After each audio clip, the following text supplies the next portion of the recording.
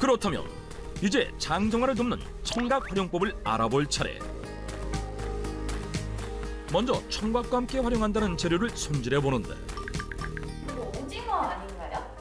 아, 이건 오징어가 아니고 한치인데요. 청각이 씹히는 식감과 잘 어울리는 한치를 이용해서 대장을 깨끗하게 비워줄 청각 무침을 알려드릴게요. 내장을 제거하고 깨끗하게 손질한 한치를 빈 냄비에 넣고 이때 물이 아닌 소주를 반컵 넣어 떠내듯이 익히는 것이 포인트.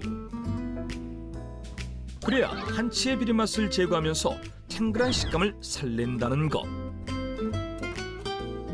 무엇보다 청각과 한치를 함께 먹는 것은 장정화를 돕는 섭취법이라고 하는데 청각 무침에 한치를 넣어주면 청각에 부족한 단백질을 보충해주고 한치의 풍부한 타우린 성분은 항염증 효과가 있어 함께 드시면 대장 건강에 더욱 도움을 줄 수 있습니다. 청각무침의 맛을 좌우하는 양념장은 장내 유익균을 늘려주는 된장을 베이스로 하는데 여기 또 한 가지 포인트 된장과 함께 소스의 포인트는 들기름인데요. 청각에는 대장 점막의 염증을 억제하는 베타카로틴이 풍부한데 이 베타카로틴은 지용성이기 때문에 생으로 섭취할 때보다 기름과 섭취할 때 체내 흡수율이 70% 높아집니다.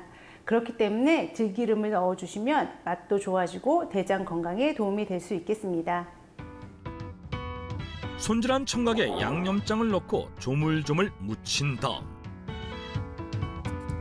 쫄깃쫄깃 데친 한치와 아삭아삭 채썬 오이까지 넣어 골고루 무쳐내면 씹을수록 고소한 장정화를 돕는 청각무침 완성